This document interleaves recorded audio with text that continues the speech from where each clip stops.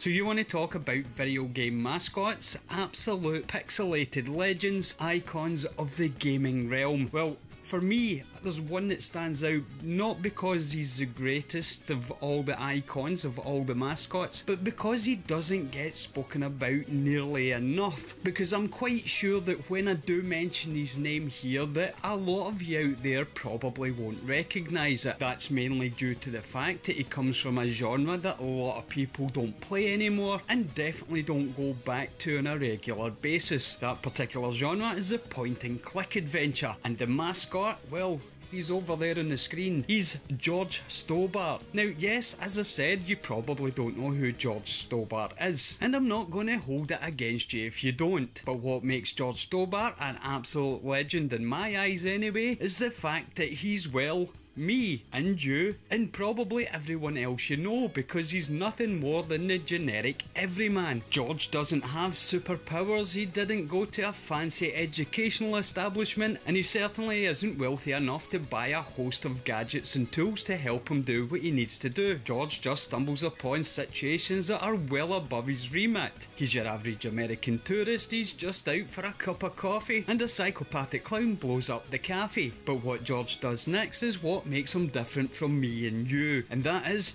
well, he decides to investigate the goings on and is quite happy to plunge headfirst into a case to discover this Templar conspiracy. But even this is just one game, and one game can't make a video game icon. Yes, he's a humble American tourist, and yes, he will plunge headfirst into danger just to solve the mystery at hand.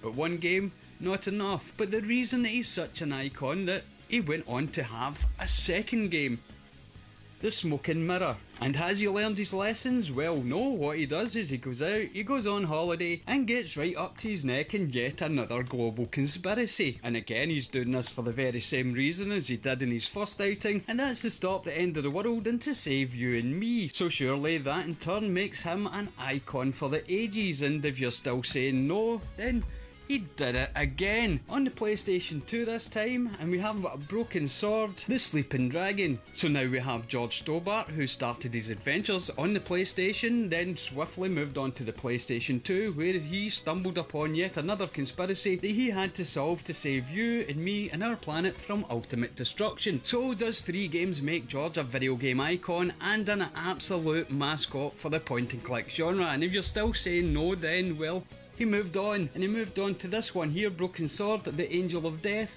on the PC. So not content just to be on the console saving the world so we can live in peace, he decided to switch over to the PC Master Race and save some of those as well. So surely now, four games spanning three generations, George Stobart has worked his way into your heart. He has become a video game icon and an absolute paragon mascot for the point and click genre. And if you're still saying no, then well, there's another thing I should bring out and that is the PlayStation 4 game Broken Sword 5 the Serpent's Curse. And yet again, we see our hapless American tourist going out into the world once more, and this time to stop a curse created by the devil himself. So now we have multiple generations five games, and a hapless hero who is no more special than either you nor me or anyone else we know. And what better icon could you have for a video game than just a regular Joe like George Stobart? I mean, he's just like me, he's just like you.